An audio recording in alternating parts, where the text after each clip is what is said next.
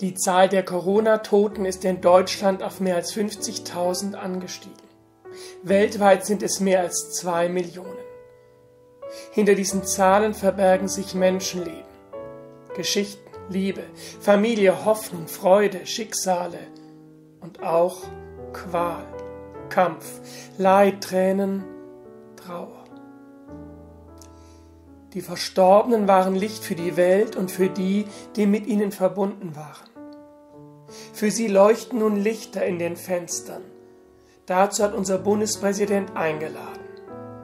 Ein Licht als ein Zeichen, als Erinnerung an jene, die verstorben sind, als Umarmung für die, die trauern, als Kraftzeichen für jene, die gerade um ihr Leben kämpfen und für die, die an ihrer Seite mit ihnen kämpfen.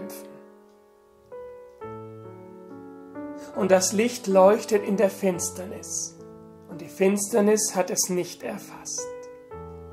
Gott, erbarme dich. Amen.